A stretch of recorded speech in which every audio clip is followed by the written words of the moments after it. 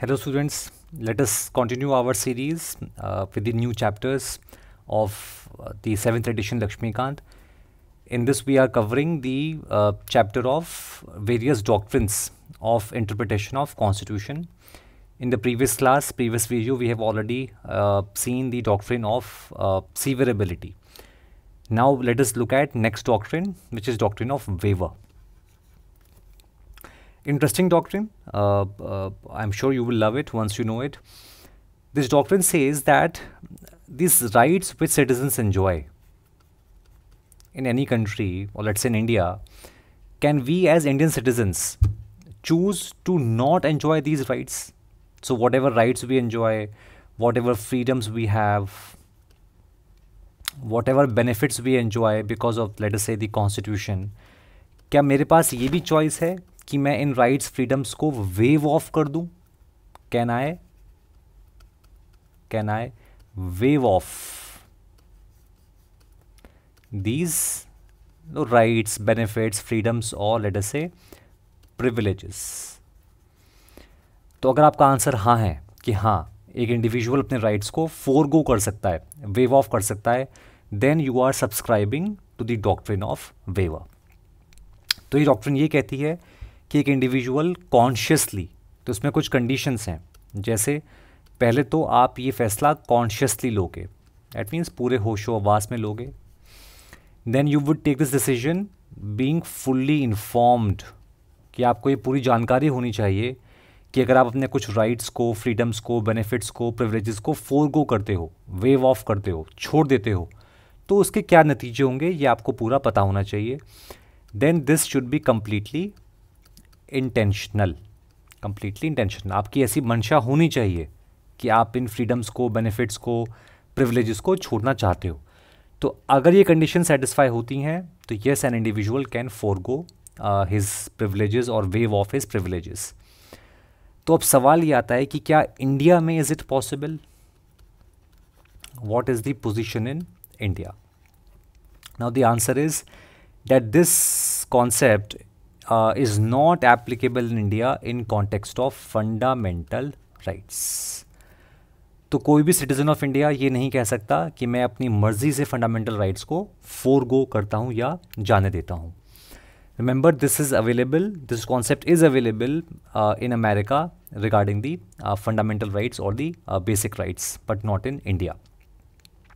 अब अगर बात करें इस कॉन्सेप्ट की in India uh, So what is the position of this concept? Position of doctrine of waiver in India.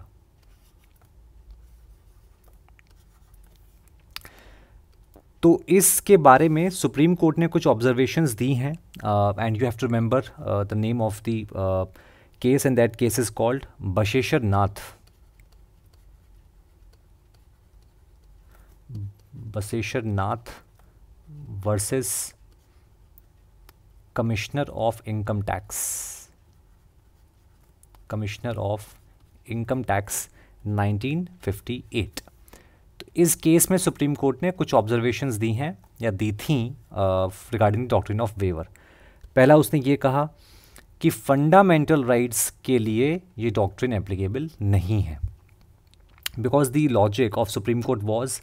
that fundamental rights are kind of duty of the state. State has been given the duty by constitution to ensure and give these rights to the Indian citizens. और ये rights ज़रूरी हैं to achieve the objectives enshrined in the preamble. Objectives enshrined in preamble. तो preamble में जो objectives हैं उनको हासिल करने के लिए ज़रूरी है कि लोग अपने एफ़ को इन्जॉय करें। तो इंडिया में ये एफ़ के लिए ये डॉक्ट्रिन एप्लीकेबल नहीं है। दूसरा ऑब्जर्वेशन सुप्रीम कोर्ट ने जो बोला कि डॉक्ट्रिन ऑफ़ वेवर को कुछ अमेरिकन जजेस ने सब्सक्राइब किया है या इनशिएट किया है। तो जस्ट बिकॉज़ सर्टेन अमेरिकन जजेस believe in doctrine of waiver in context of America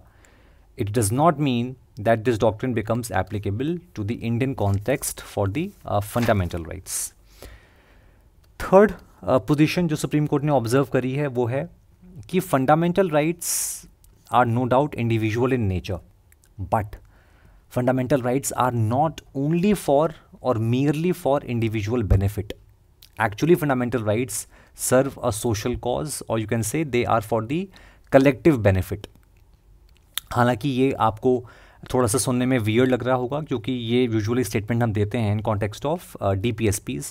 लेकिन कोर्ट ने इस तरह से इसको इंटरप्रेट किया कि फंडामेंटल राइट्स बाय नेचर और individual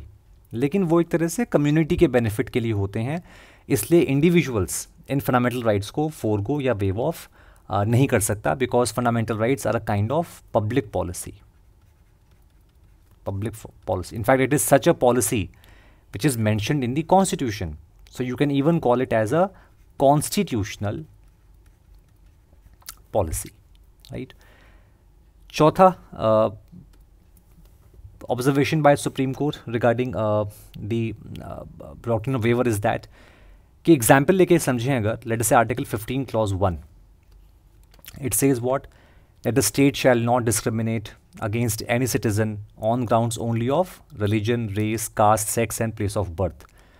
So, can there be a situation where a person, a citizen of India, waves off this Article 15, Clause 1 and says to state, कि state, I allow you, I permit you to discriminate with me on grounds of my religion, race, caste, or sex or place of birth. So that would be a weird situation for individuals and for the society, for the country as a whole. ऐसे ही मान लीजिए कोई citizen बोले कि मुझे अपना article 20 enjoy नहीं करना या आर्टिकल 21 एन्जॉय नहीं करना तो स्टेट मुझे आर्बिट्रली अरेस्ट कर सकता है मेरी लाइफ या लिबर्टी छीन सकता है ये मैं परमिट देता हूँ। नहीं क्योंकि ऐसा इंटरप्रेट करने से और बहुत सारे गेट्स ओपन हो जाएँगे। जैसे the right to commit suicide तो अगर मुझे article 21 right to life enjoy नहीं करना है तो does it mean I have a right to kill myself so if we allow doctrine of waiver in context of fundamental rights, it can have such far-reaching uh, you know, consequences. It's like uh, walking on a very uh, slippery road. And then Fifth Supreme Court observed that Indian democracy, Indian democracy is in a nascent stage. But please know that this was case which was just after the independence काफ़ी पुराना case है तो हाँ उस समय हम ताज़े ताज़े आज़ाद हुए थे हमारा ताज़ा ताज़ा ओवन फ्रेश जैसे केक को बेक करते हैं ना ओवन में से निकल के आता है। केक तो बड़ा फ्रेश अच्छा स्मेल आती है उसमें से फ्रेगरेंस आती है। ऐसे ही बिल्कुल ताज़ी हमारी डेमोक्रेसी थी। तो बहुत सारे सोशल चैलेंजेस थे इकोनॉमिक पॉलिटिकल एजुकेशनल तो उन सर्कमस्टांसिस में fundamental rights were super important and therefore citizens can not waive off their fundamental rights अब अगर आपसे कुछ केसेस पूछे जाएँ that in which cases this concept has been subscribed to this doctrine has been use by supreme court तो पहला case तो हमने अभी जस्ट लिखा था Basheshwar Nath versus commissioner of income tax